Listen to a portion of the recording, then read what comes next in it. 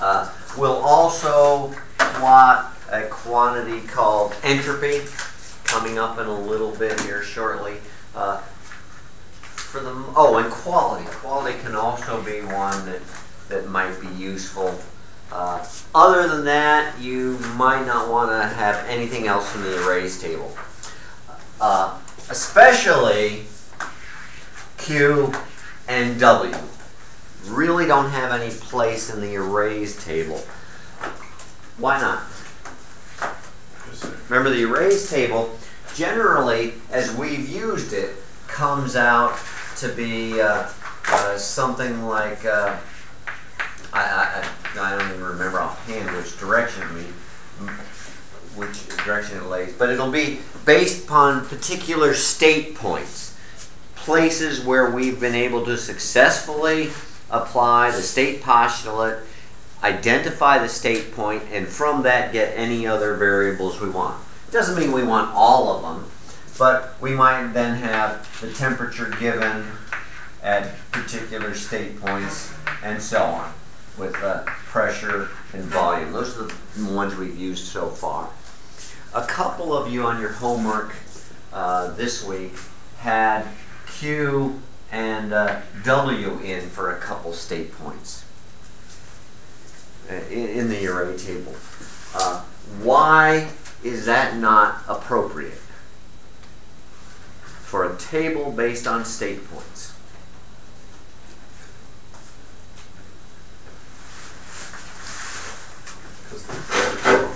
What? They're a changing quantity, like there's. It's, that's exactly it. Remember the the these values are all values that we can establish at one single point. Those are what I called, if you remember, point functions. These were all functions that we could identify at a single point, and from those we could then always have things like delta t, which was t at a single point minus t at one other single point. Whereas these are not point functions, I call them path functions because that depends upon the entire, not just the endpoints, but the entire path in between those two endpoints, especially work, if you remember. That was the integral under the pressure volume diagram. So it makes no sense to have work and quality appearing at a single point. Now I know that's not what anybody intended. Uh, remember how to get into an array tables with any value? How to put an EES variable and tell that EES variable to be in the array table. Remember how to do it? Yeah, square brackets. So all of these things would have been something like T1 equals what I, 100 there. You do something like that and it automatically puts it in an array table. Some of you then also did that with Q or W, and you were saying Q between 1 and 2. But what uh, EES thought was then you have a state point 12. So it actually put it way down at the end of the table. Actually, if I remember now, the state points are this way and the values are that way. But the idea is there.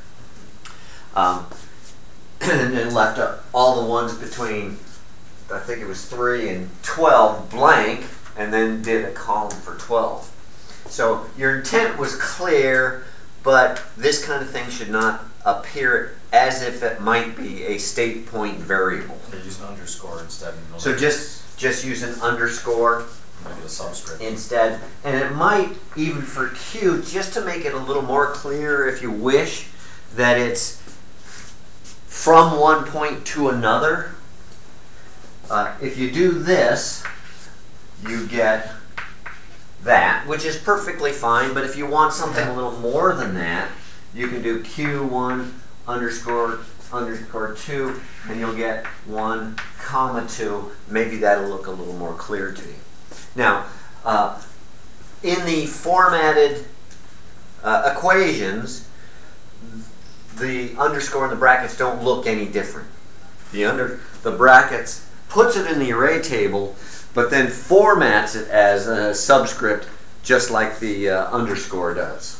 So you won't see any difference in the formatted uh, form of these two these two versions, but uh, what happens to those is very different. One's written with an underscore go into the solutions window. One's written like that go into the array table. Even if you don't use the array table, that's where they go. So in practice, probably nothing else but these should go on the array table. All right? So that's what was on uh, common on several of the homework uh, problems. A, a, couple people did that. So just be careful. These programs, as, as helpful as this is, this EES program, most of you are getting used to it. It's a, sometimes a little cumbersome and slow, but sure pulls up these values and sure plots them quickly once you get good at it. But it's still just a stupid computer program. It's only going to do exactly what you tell it to do. So, don't tell it to do anything stupid. Tell it that that's your job. Okay. Back to work here.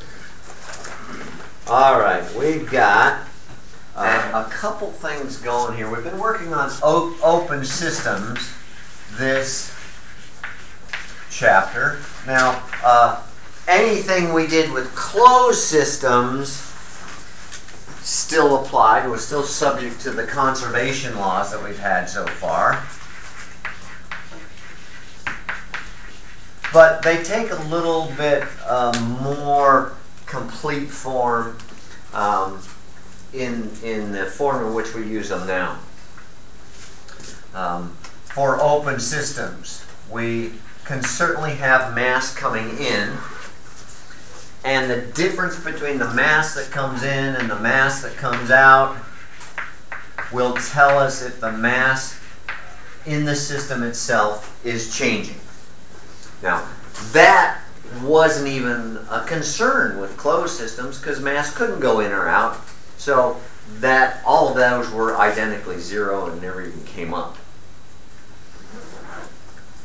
If you want the flow version of this, then it's m dot in minus m dot out equals the time rate of change, not of energy, but of mass in the system. And so that's our, our flow rate version of the uh, conservation of mass law. Uh, remember why we use the dot here notation and not the dot notation here? It's not, uh, it's not something I'll count off for, but it does help emphasize there's really a difference between what's on the right hand side and what's going on, on the left hand side and why we don't use the dot notation over here. Uh, not quite. Two on the left are directional and one on the right is quantity. Yeah. These are actual quantities flowing. This is not a quantity flowing, it's just a quantity that's changing with time. It's the mass in the system that may be increasing if we're filling the system, maybe decreasing if we're emptying the system. But for our steady flow assumptions, which are, uh, I don't think we'll do anything else. I don't think we'll really have time to get to transient situations where we are actually filling a system or emptying a system, uh, meaning just simply there's a a numerical difference between what's going in and what's going out. For our steady flow systems, what that means is for whatever our control volume is, for whatever our control volume is, as mass flows into the system, does whatever it does, and then flows back out, and it may occur through multiple inlets and or outlets as this mass is flowing through there, a particular little piece of mass, its properties could very well change as it progresses through the system. It might come in quite, that little piece of mass might come in quite cold, be heated up because of heat addition or whatever else might be going on and come out quite warm and or much faster and or much lower or something. So uh, the, the properties on a particular little piece of mass that flows through the system are definitely going to change as it goes through the system. However, if we look at any one point and watch all the mass that goes past there, all the mass that passes that point has the same properties. Every piece of mass that goes past there is the same temperature as the ones that came by hours before. Everyone has the same specific volume. The pressure is always the same at that point. That's our steady flow assumption. There's a little bit more to the steady flow assumption. We're not even, uh, I don't, I don't remember even seeing it in our book, at least not yet. And that's that as we look at flow through a particular pipe, oh, and by the way, you engineering students, this is not the engineering sketch for a pipe. We have to add that little bit there. So now we've got a pipe, so now things can flow through a pipe. Things can't throw, flow through solid bars. Yeah. That's just dumb. I thought the pipe was just the thickness of the chocolate. No. No. Much more realistic drawing. The non-engineering students, you can skip that. You, you're going, what the hell's the, the There's deal not with it?" engineering students in this class? Yeah, you're not an engineering major, are you? You are? Chemical engineering. What about uh, you? What are you doing? Chemical engineer. Oh. Well, welcome. so I, I want you to do this too then. It's a combo now. Yeah. Any, anybody not one of us? Okay, awesome. awesome. Anyway, the, the, the other assumption we're making, and like I said, I don't even remember if our book expresses this, we're also making the assumption that as something flows through a control volume, and that, that certainly is what a pipe is, we're assuming that uh, all the way across that particular point, and we've been using state point numbers for those as, as to demark different places through there. We're assuming all the properties are the same across there. That the temperature down here as the mass flows by is the same as it is up there and the same as it is everywhere else. In reality, that's not true.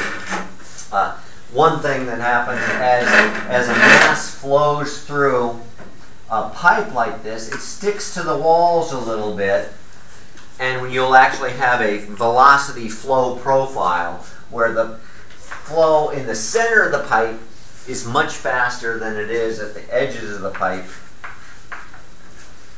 And in fact, uh, actually sticks to the wall and there's zero velocity flow there.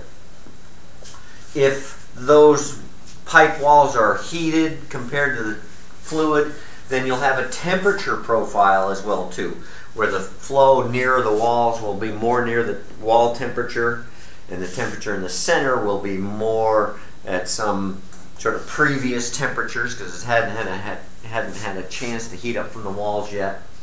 Um, we're just assuming that for the most part, everything's the same across there, and every number we use even without expressing it, across that cross section is Uh, uh, constant all the way across there and is the average value, as if the fluid was very, very well mixed at every point, which is not the reality of it.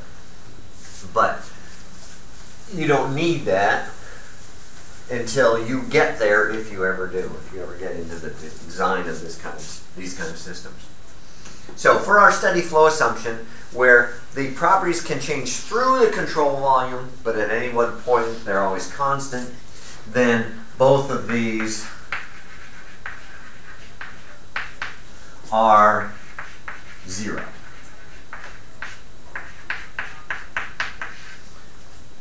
Because if that wasn't true, then somewhere in the system mass is accumulating and uh, we then wouldn't have a steady flow assumption. So that's our that's our conservation of mass law as we've been using it. where for the most part we get down to the point that what flows in must flow out even if it's only some time later and with very very different properties our energy equation and that's one we worked on uh, last Friday.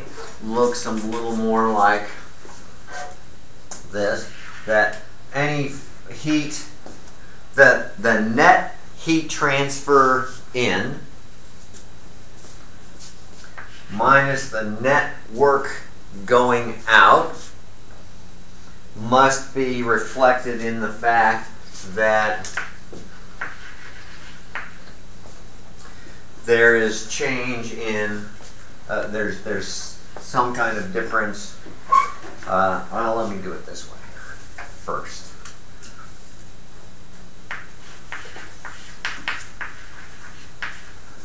That will uh, will cause the energy of the system to change. Um, well, well, well. Let's uh, let's let's step to there. Take notes and pencil. In chalk. Or just wait, like I do. Yeah, just wait. The, the trouble is every book uses a slightly different notation. Some books are fine with this being m dot, some aren't. Some don't like the dot notation at all. That's very rare.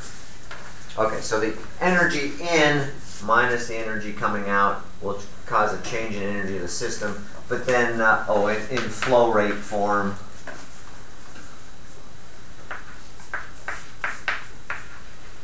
we can have energy flowing in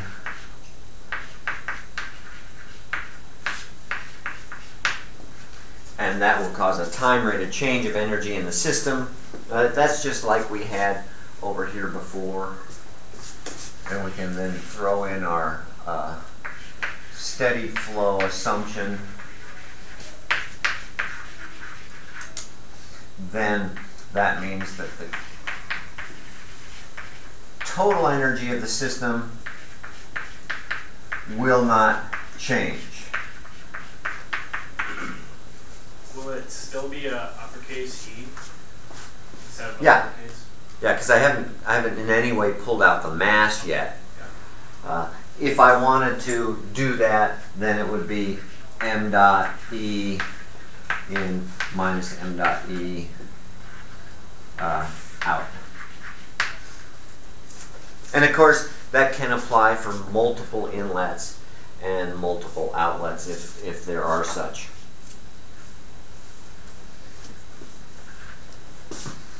So for our steady flow assumptions, then we have for uh, open systems in, I guess, a more complete form, we'd have uh, all of the inlet mass coming in. However many inlets there might be, and uh, we'll have a problem today where uh, there are multiple of such. And then we have all the mass, mass flowing out. Uh, and then the full energy form for steady state, steady flow, that will be the one where we got the Q minus W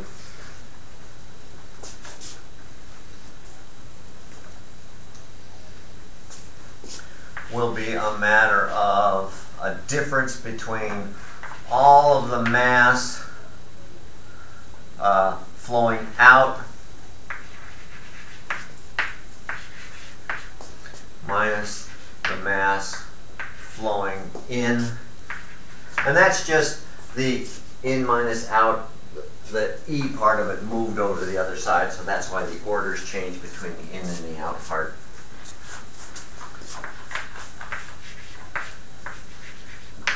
But then we know that now to be H plus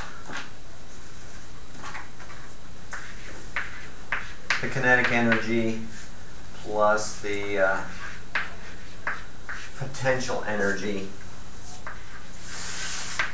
at each of the outlets, and those might be different. You'd have to evaluate every outlet differently. And then the same kind of thing.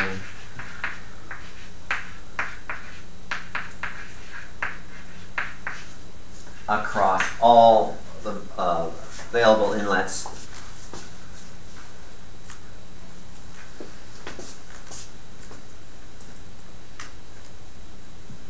And then if we do that in terms of the intensive properties, divide through by the m dot, and we get one more form through it.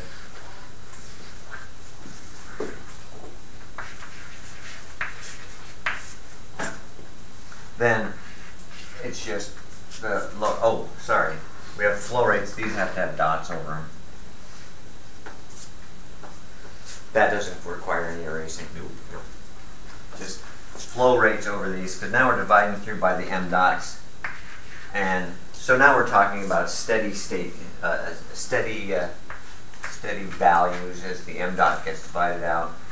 And then we get just delta H plus one half delta v squared. It's the change in the quantity v squared, not the change in, in v, and then that squared. I predict two people. Phil volunteers to be one of those people to do that. And then uh, g delta z. And often uh, either or both of those last ones are zero. It's volunteer. And don't forget this H is the internal energy plus the flow work being done at that point. And so we combine those as a matter of uh, convenience. So these work terms here do not contain the flow work. They're all other forms of work that we've talked about. Pistons, paddle wheels, heaters, uh, electrical heaters. I don't think we have anything else like that. We don't uh, we don't do any work by friction in here. Uh, we'll talk about it briefly, but we don't we don't really do it.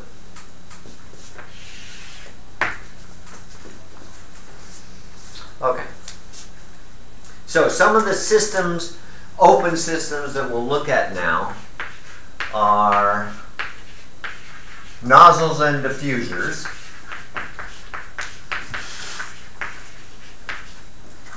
They're really the same thing uh, for our fundamental purposes. They're the same thing, just turned around backwards.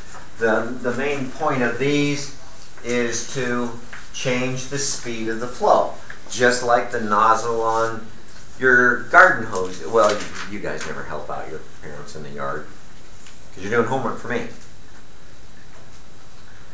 But all the nozzle at the end of that does is, is cause the speed to increase. A diffuser is essentially that backwards so that the flow rate, the, the speed at which the flow is moving will be reduced. So certainly these take into account an awful lot of the uh, kinetic energy change. Typically they're so small and things through them are happening so quickly. For the most part, we consider these to be very well insulated, which automatically makes the heat transfer during a transit through a diffuser to be to be zero. So we'll look at a, a couple of those as we get to them. Um, we'll look at turbines, both uh, gas, steam, and liquid turbines. We won't do much with liquid turbines. Most of what we'll do is, is uh, steam and gas turbines. Generally, these are to take high energy inlet air or, or fluid, use that energy to turn the shaft, which is then connected to some other purpose. Often an electrical generator. This is just what goes on in power plants. And it does it by having multiple. I did that backwards. So we're going to change this. This is a compressor.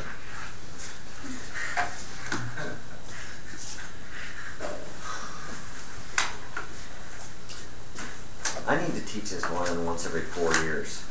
So when you guys take it again next year, it'll be better. In this case, then in this case we have work actually being done on the shaft, which then takes the inlet air, progresses it through the compressor so that it becomes very high pressure, high energy air, and then outlets in uh, in that way. So it's it's the main purpose of it is to uh, greatly increase the pressure uh, of the fluid.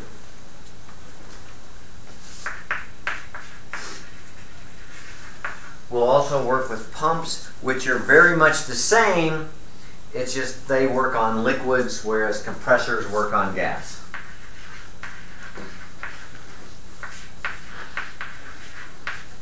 But it's still the point of those to increase the pressure of the uh,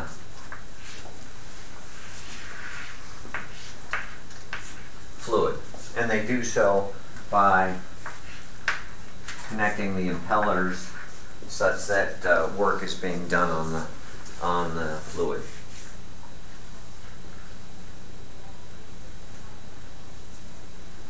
Now we'll look at turbines. They're essentially compressors run the other direction. So it was easier to change the word than the drawing.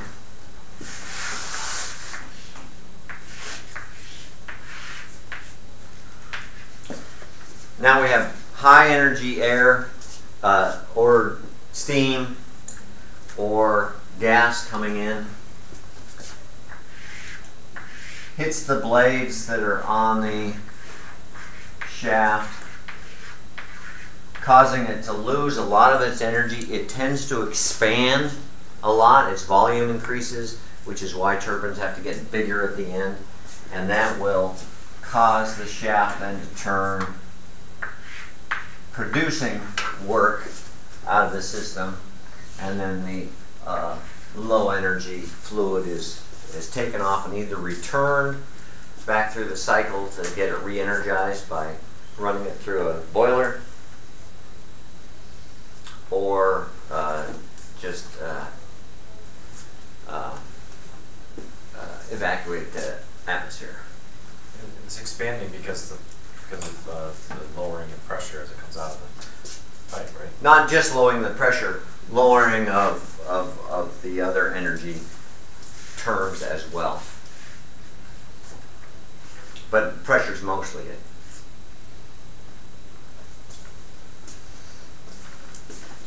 All right, we'll also look at heat exchangers, which come in a, a couple forms. Just to make the diagram simple, it can often be that a hot stream goes through and heats up a cold stream without any exchange of mass between the two, just merely the transfer of heat from one to the other. And this is exactly what happens in your uh, in your furnace at home. Uh, the hot combustion gases heat the air going through the ducts, but the combustion gases are not actually introduced into the uh, ducts, which is good because then it wouldn't doesn't put carbon monoxide into the house. Other type of heaters we can use is where the fluid streams actually mix. There's, there's, that's what they look like when they mix. And a single stream comes out at a temperature somewhere, uh, conditions somewhere between the two.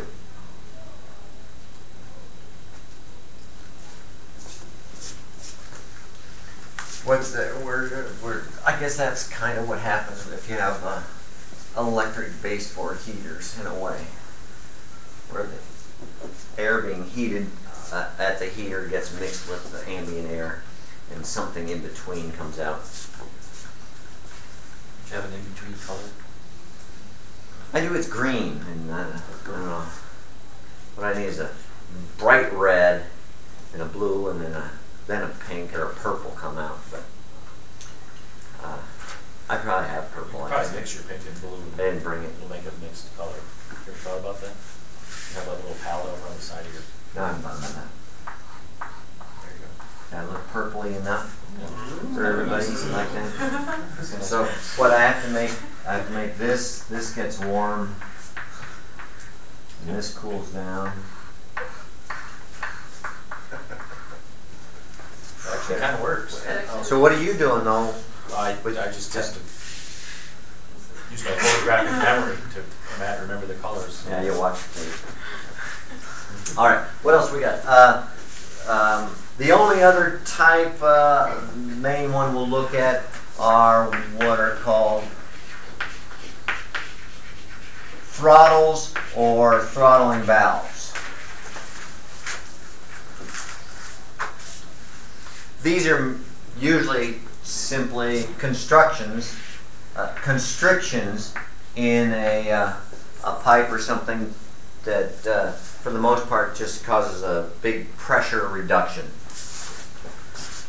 So, because of that constriction, uh, the pressure is greatly reduced.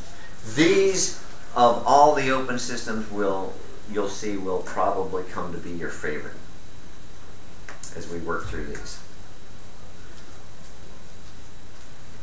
Actually, I can show you why. No big deal. The uh, conservation looks like uh, something like this. Well, since we're doing open systems.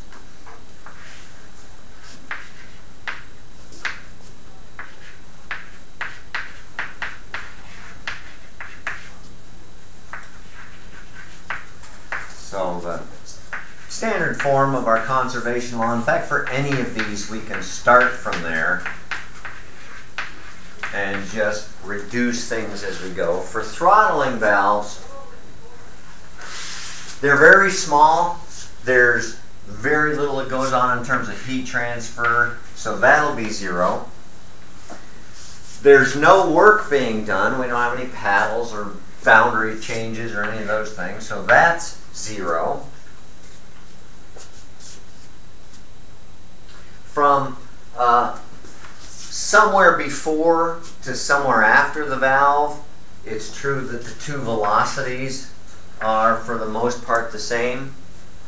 Right in the valve, that's not true, but then uh, that's not the purpose of the valve. The valve is to change fluid in one place to uh, a situation somewhere later. They're generally very small, so there's not going to be any change in potential energies.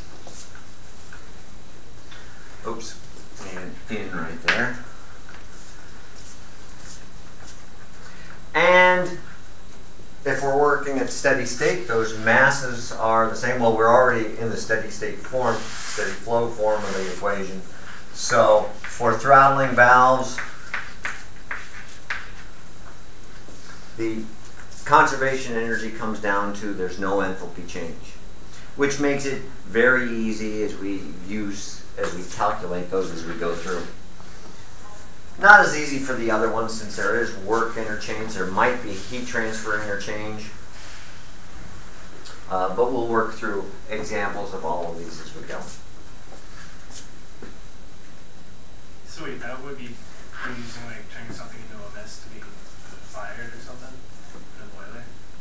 Uh, no, not not not really. Where we use it is in uh, uh, refrigerator systems, where you just simply want a big pressure drop, because then that changes the boiling point and allows you to take heat from very cold places and release the heat to much warmer places, which is not what heat likes to do. Heat likes to go the other way. The refrigeration systems get that to turn around.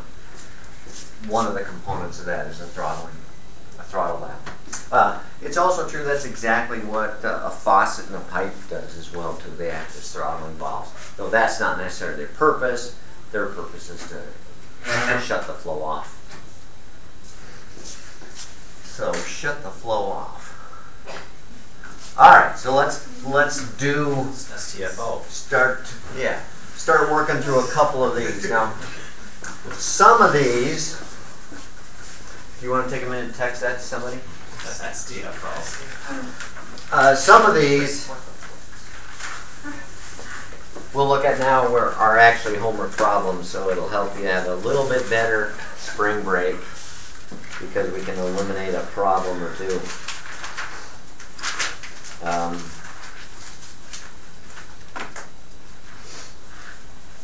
like we'll look at, at problem in the in the English books. It's uh, or in the uh, the U.S. version. It's problem five fourteen. In international, it's six five six. Unless I screwed up those. Am I getting those numbers okay? Is you, you, check between each other who has different books, and, or you don't care? Is it, it's easier to copy if you're copying the same problem, isn't it?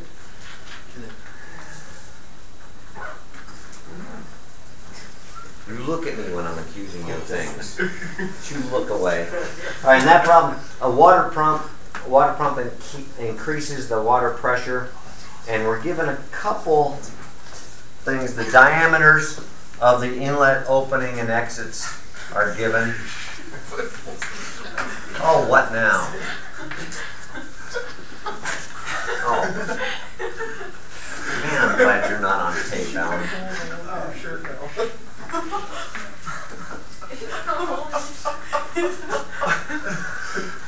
Thanks. Should be. His whole. Uh, you have to show him. Show him. Oh, there you your shirt. There are holes in your shirt show now.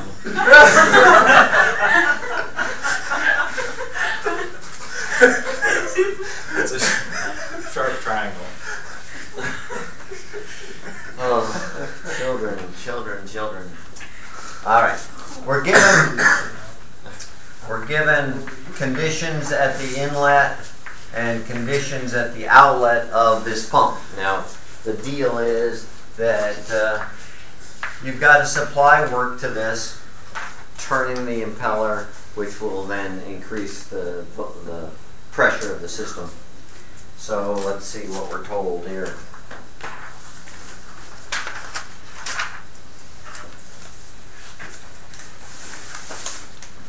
So wait, is your spot at one and two are those pipes? Because I don't see a little hole thing on it. So. Yeah, they're there. You just can't see from way back there since you're one of those people like sit at the back of the room and make snide comments. Just making sure. I don't understand the drawing. STFO. Is that it? STFO? Shut the flow off. Yeah. Yeah, shut the flow off. yeah, definitely. Shut the flow off. All right, so we're given a couple things on this one. The uh, inlet conditions.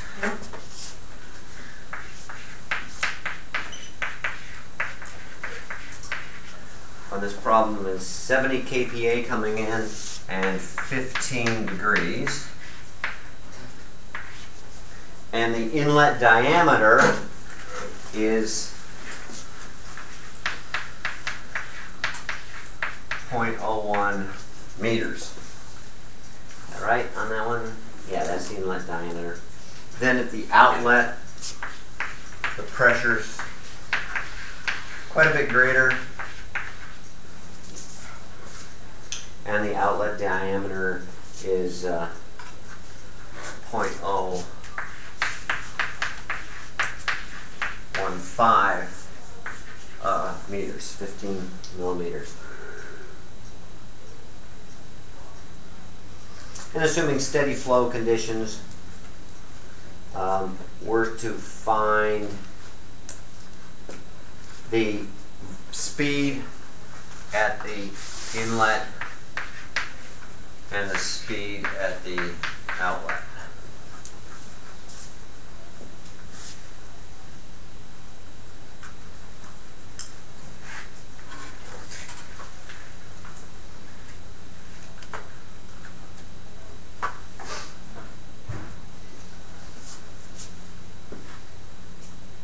Okay, a couple things we have to assume, and we don't normally need to say those, but it doesn't hurt as we get going here on some of these. Um, Yes, sir.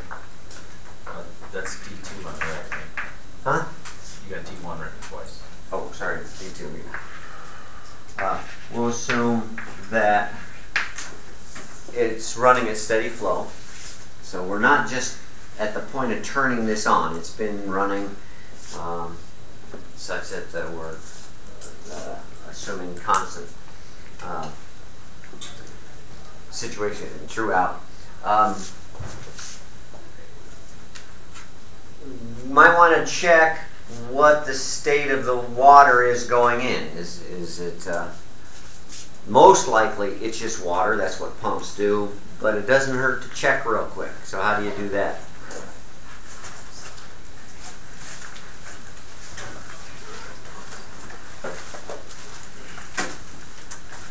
That's right. You pull out your tables.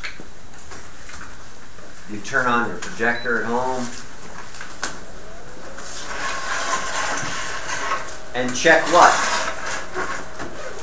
Just to make sure where the inlet conditions are so you know what you've got going in. Especially since we need the specific volume, because that's going to determine a lot about what the mass flow or the, the velocity flow rate is.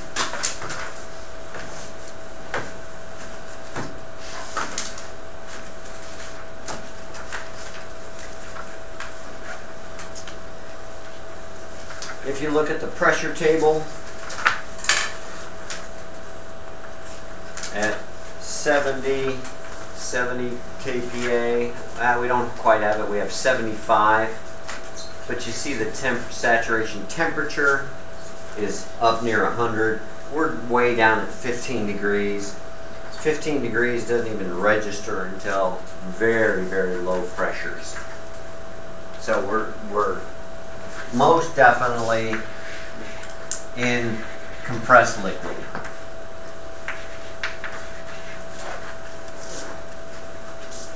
Could have pretty much assumed that since we had a pump anyway, but it's uh, it's nice to check it. Um, so the velocity, the speed, um, the only thing we have, do we have the mass flow rate? Sorry, we do have the mass flow rate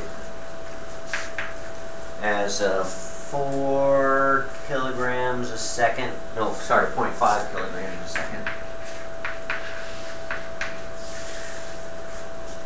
And one of the things you should be remembering by now that relates that mass flow rate to the speed of the flow is m dot equals rho VA.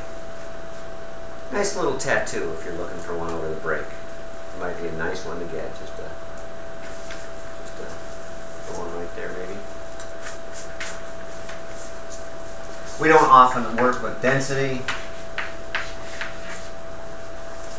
So uh, we put it in terms of specific volume, which remember is just the inverse of the density. And if we ever need it, the speed times the cross-sectional area is the volumetric flow rate. So uh, all of those are always available to us.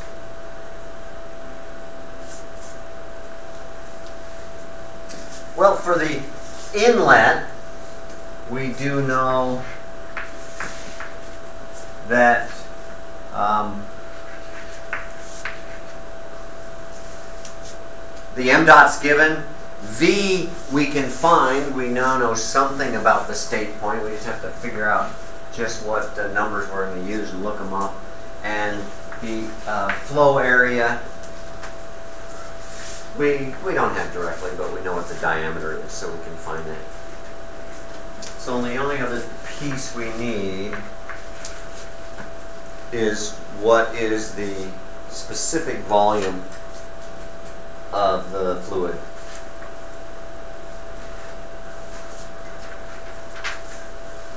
And that we can find from the tables. First thing to check is the compressed liquid tables. Temperature for 20, 20 Celsius. compressed liquid tables, the, the smallest they even go down is five megapascals, and we're, we're quite a bit under that. Um, plus the, the temperatures, temperatures we've got are all pretty low, but you notice that these values don't change terribly. You're not going to go too wrong with whichever one you happen to pull out. We can just double check what's at the very left side of the dome by looking at the pressure, saturated water pressure tables. We did have 70 kilopascals, 0.00137. If we look at the temperature tables, what are where we are at saturation, 0.00101. So things aren't, things don't change very much in water. It's uh, for the most part incompressible. So just take one of the values since we're here, and that's that's a pretty looking one. Looks like a binary number. We'll take that.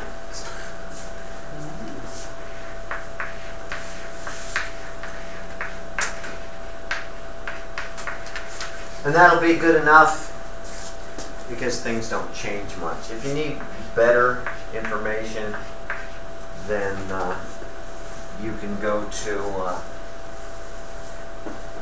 I'll tell you where to go. You can go to um, the, uh, you can go to these, just put in that temperature and pressure and use the volume that comes up.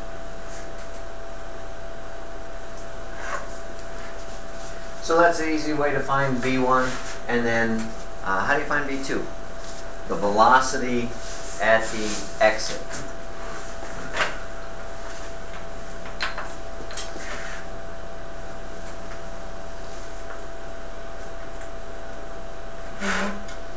Oh, feeling. Were you hoping I was going to trip? Maybe hit my head on the corner of the table? And then we have to call security for twice in one day? Bit much asking. What? Bit much? Ask- Asking them to do something twice. Tell them there's pastries. Good. Get them here quicker. Are they gone? No. Somewhere. Are they in there unguarded? I brought the cookies in here. Oh, they Where are your pastries? All right. Anyway, nice, nice way to throw everything off track, Fiona. Let's, we can get back to the subject.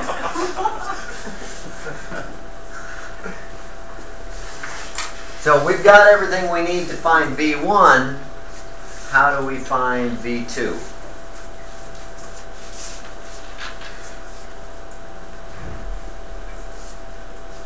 Same way. Same kind of way. We know that m dot's the same, so uh, everything's for the most part the same. And in fact, if you set these up in terms of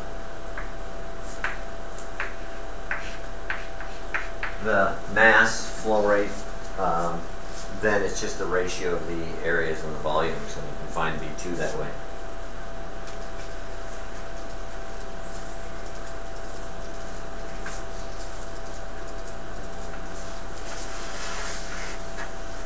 for a lot of incompressible flow, pumping water, we can do very, very well to find the work being done as nothing more than the specific volume times the change in pressure through the pump because the specific volume is so close to constant uh, for water. So that's a, a pretty nice thing to use especially since we'll be uh, looking at pumps as one of the components in a, in a power plant shortly. As we start to put a lot of these open systems together until we get a, a full power plant model.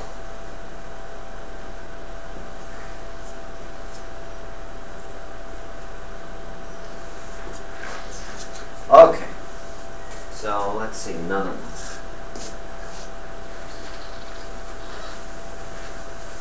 Problem 522 is the same kind of thing that a pump does, raises the pressure but does so on air.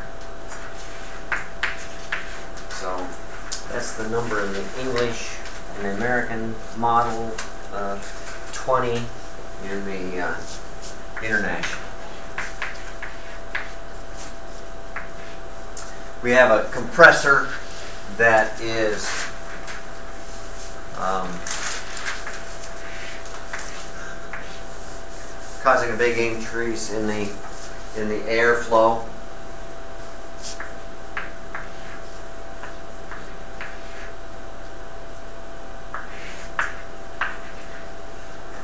With work being done on the system. What? Oh. Thought I missed something up again. Okay, we want to find that work being done. It's actually the flow work. It's the work being done to force the flow through the through the system. Uh, one megapascal.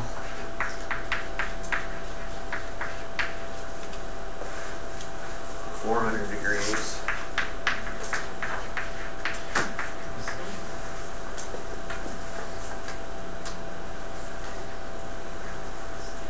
And outlet. What's the matter, Phil? So you're not using that triangle, are you? There's DNA all over. I like it on my jeans.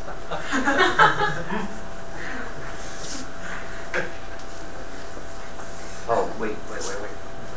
I had them reversed. I haven't written anything down yet. Actually, I should have left it to see if you guys catch it. I should stop catching these little things for you. Let you catch them, wise guys. Well, maybe like Homer. What's that? Oh, did I say that out loud? Is that on the tape? taping?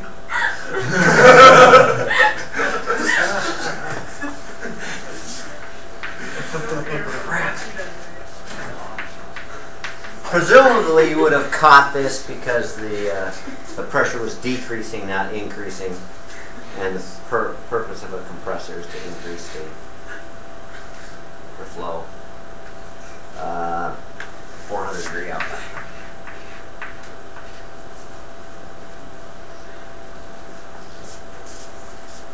And we want to find the flow work, which is uh, really all that's being done there because it's. Uh,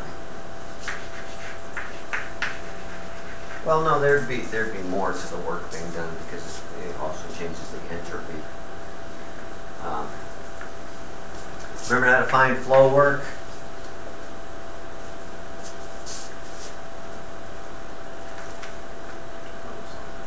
What? V curl something? The integral of something. The something. No, it's pretty simple. It's the difference between the P and V at each of the uh, stations.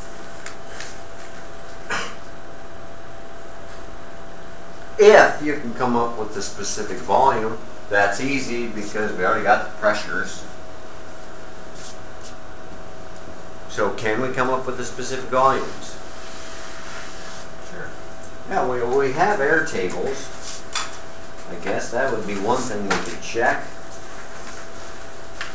There's something to do with air and some tables somewhere. Ideal gas properties of air, table A17. Let's check it just to see what we got. Maybe specific volume would be right there and we just we laugh at the pleasure of doing this. Okay, ideal gas properties of air. Um, degrees Kelvin, we've got degrees C, so we'd have to keep an eye on that. Um, what do we got? 295. 295, pretty close.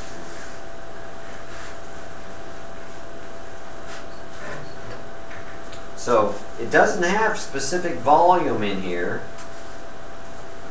It has V sub R, but there's no units with it, and has units on everything else, well, except PR. And then there's even some new stuff. We don't know what S naught is. Huh? What is VCR? Well, that's a good question. But maybe there's an easier thing to do. Here's one there. Nope, I guess not. Let's put on the hard one. You think about the easy Use one. table. Use. Could try using these, but who's the other you know, maybe this is at a, a traffic stop and the cop says, if you can answer this question, I won't write you a ticket. Now you'd be interested in that. I would be interested. Um, Just a little question about these. How do you make it calculate um, uh, specific heat at a constant pressure, specific heat at a constant volume for a certain temperature? Is there some function to that, or do you Yeah. just have to? Yeah, it's one of the thermodynamic properties that's right in there. How do you do that? I tried that. I couldn't find what letter is that assigned to. I think you just put CP. I, I forget. You just you uh, you know you give it a variable name, maybe C sub P, Yep. and then the call is I think just CP, Yeah. and then you say what fluid it is, air, and then you give it whatever two intensive independent properties you've got. Because the uh, the chapter four homework has you finding CP by, and if you want to do the problem easy, they only give you T. They did not give you anything else. So what were they assuming you look up? Just the room temperature CP?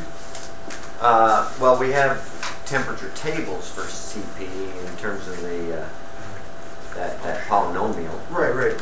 My, my question is, how do you do that at EES when they only give you temperature and that's it, nothing else? Uh, it, it might be one that just runs on temperature. I don't know offhand. I just don't remember. Okay. Full CCP and EES. Ratios. Poisson's ratio, right? No. Poisson ratios for something else.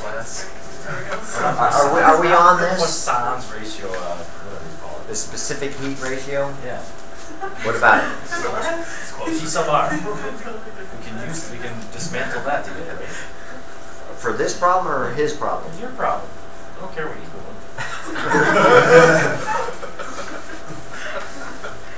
Well, don't forget that air is an ideal gas. And for ideal gases, PV equals, well, depending on which V we've got there, but, and those are just given, and so it's a, a very straightforward problem to define the flow work. Remember, that's only part of the, uh, the work we've got there. That flow work is usually part of the uh, enthalpy.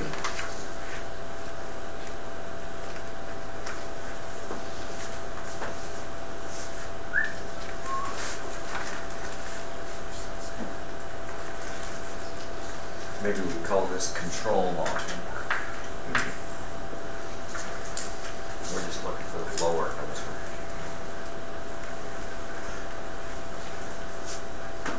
All right. Uh, uh, turbine problem.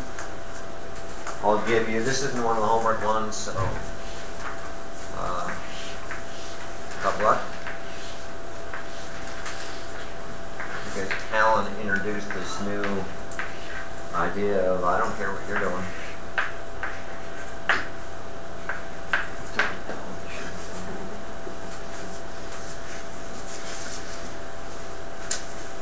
Remember, turbines are to extract energy from the fluid and turn it into work. So we've got uh, 3,200 kilowatts coming out. Inlet conditions, again, this is air.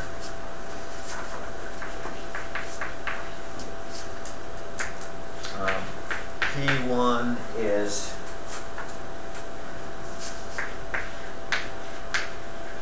10 bar. Uh-oh. That sucks. Uh, T1 equals 900K. Well, that's what you get, Alan, for making me mad. And uh, at the outlet, pressure is greatly reduced.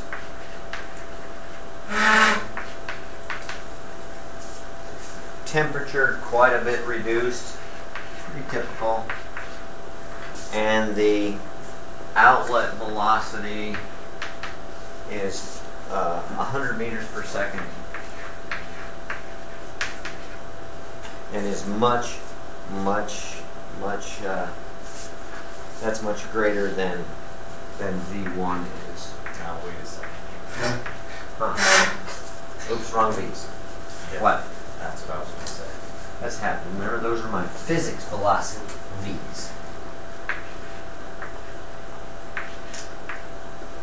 What that means is that the, that the, uh, the air it's pulling in is, uh, is from a, a large reservoir somehow, but it's very, very high temperature and high pressure. Just its velocity isn't all that great. Could also be that the, the inlet areas are very, very large, keeping the velocity down. Okay, we want to find the mass flow rate and the exit area.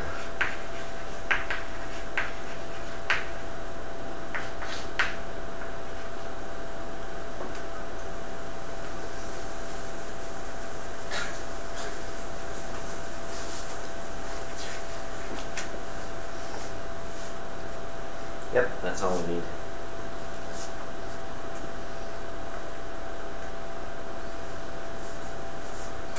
All right, all of this is going to come from our energy balance for constant conditions, steady flow conditions.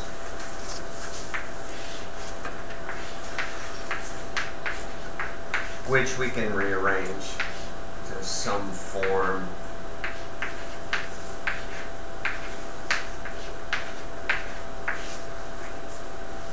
as something like that for steady state conditions.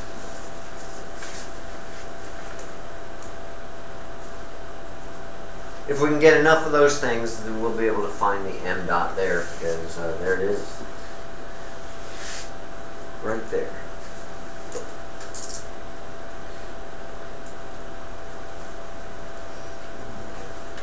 Ten bars is just a megapascal. Mm-hmm. So that wasn't such a big deal. Nope. It's what, one megapascal? Yep.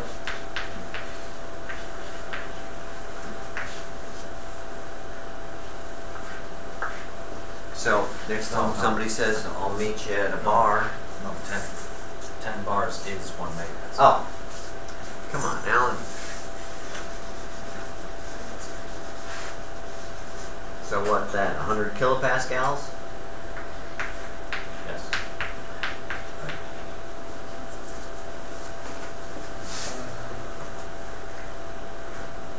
Yeah. So if somebody says meet you at a bar, you blink at them. I mean, you need a megapascal. Hundred point one megapascals. Yeah, I'd say So, one megapascal is a bar crawl. I guess because you got to go to 10 bars.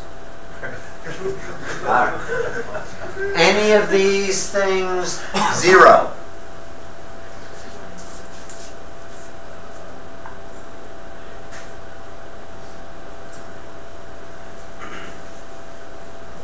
Is the heat transfer zero, either to or from the turbine? Doesn't work out. Might or might not be, but we don't have anything here that's going to help us with that. We've got this. Uh, we're looking for that. Those that kind of thing we can come up with. This kind of thing we've got information about. Well, that we can assume is zero, since there's certainly no altitude difference given between the inlet and the outlet, which is for gas turbines pretty true. They're not that big.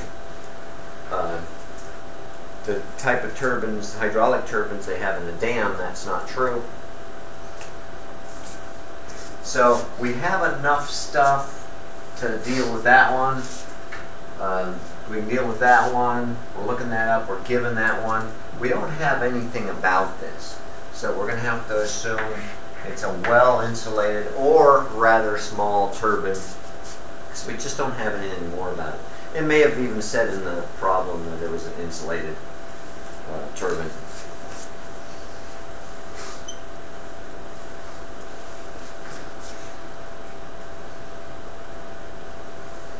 So that we're given. This, uh, well, we have an assumption about this that we can use. Uh, maybe not an assumption, or comparison between the two.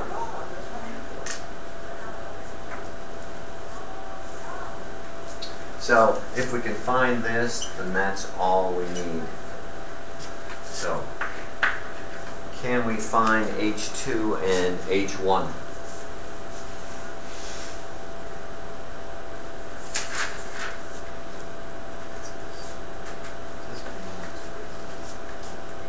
How does, where, where do you get V1 squared to zero? That it's much, much. Did I draw that the wrong way? Yeah. Much, much less. Sorry, I was looking not only at the international edition, the Australian edition, where everything's backwards.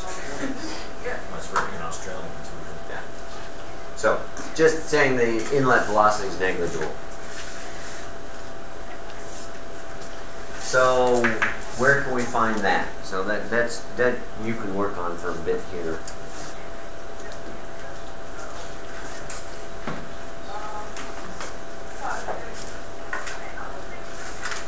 Because that we were talking about last week. How to find the changes in the enthalpy.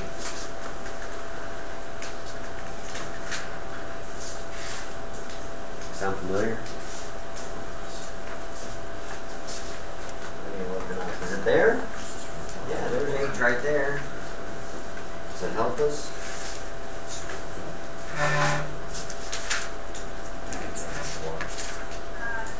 Now, we do have the air tables. Table A17, the one we happen to be on. It's got enthalpy in it. Um, in terms of temperature, though, not pressure. But if you remember, I told you that uh, enthalpy is much, much more strongly dependent upon temperature than pressure. So, uh, the temperature's in degrees Kelvin. There's H, that would be H at 500. That's H2, 50302.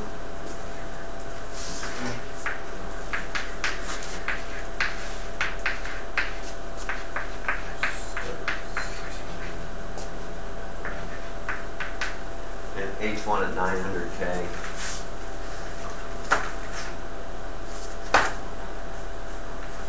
Oh, it's two columns. 900, 932, 93.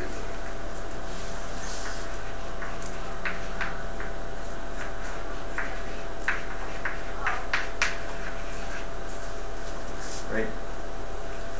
9, 932, 93. So there's delta H. Find then the, uh, the exit velocity and use that then to find the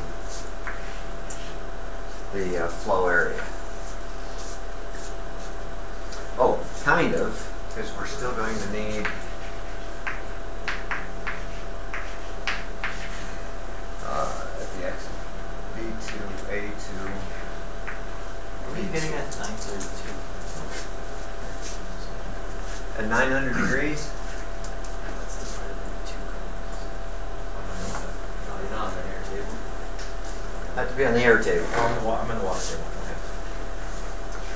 Done this before. Well, you can try that if you want. I've done, I think I've tried it before. It doesn't work. Yeah, be careful with that. There's a lot of tables. We have more to come. Is there a quicker way to do that? That's pretty quick. But if you don't have the tables or you're in the wrong tables, use these or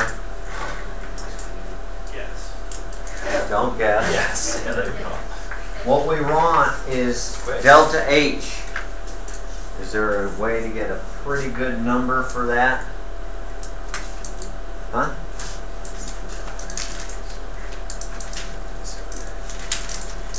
Yeah, we did this the other day.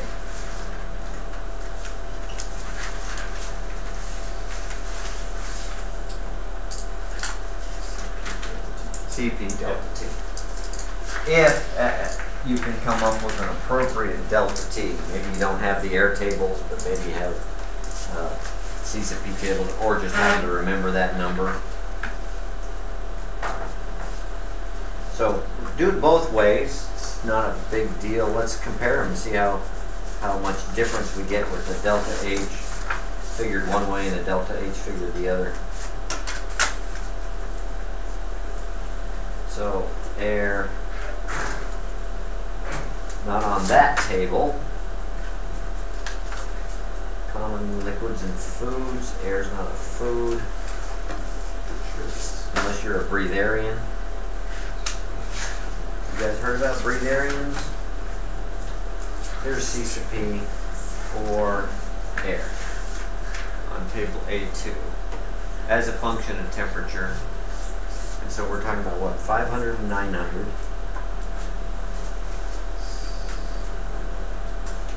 1.029 and 1.121.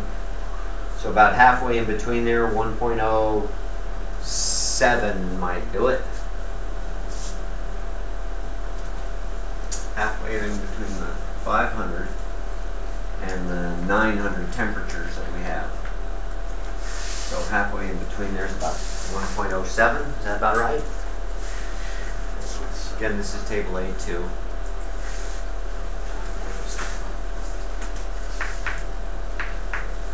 One point oh seven five.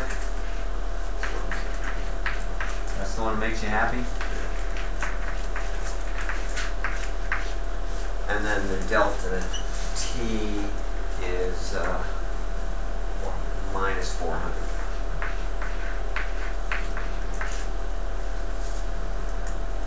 minus because the enthalpy is dropping. That enthalpy is going in part to this work. So what's that one come out to be? And what's this one come out to be? On the right, 428. All right. And this one? It's like 429.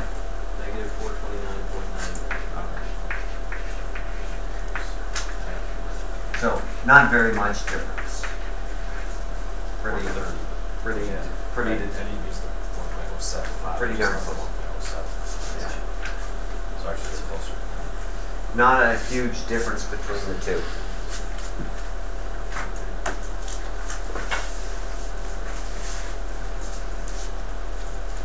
And so we can find then a mass flow rate, just putting in the numbers, finishing it up.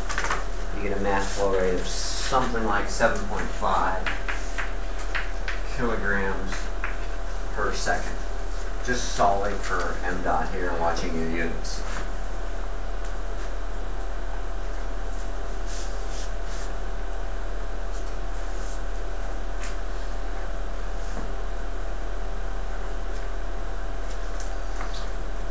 And then the last part of it, we we're asked to find find the outlet area. Now we have m dot. We know the velocity. We don't know the specific volume at the exit. How can we find that?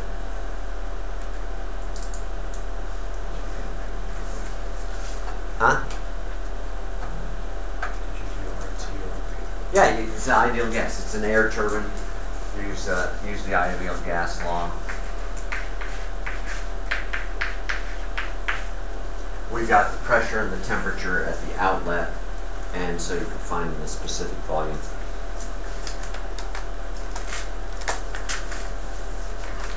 And you can do that, and I can go to lunch.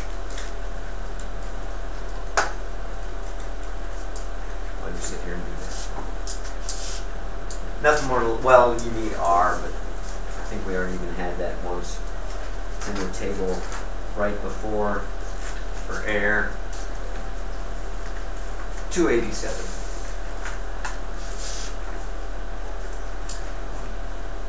Again, No. if we were doing this in EES, how could we make EES find R for us? Um, well, one way you can do it is uh, R equals C sub P minus C sub V. And you can, oh, do we have the right tables to show that? C sub P minus C sub V is about 0.3 and R is, yeah, about 0.3. So just looking at the rough numbers, that about works. So that's one way to do it, since it can call up those. Uh, if not, it doesn't, I don't think it has this for air specifically, but it does have the universal gas constant for air, and it might even have the molecular weight for air. And so you can get the specific gas constant uh, that way.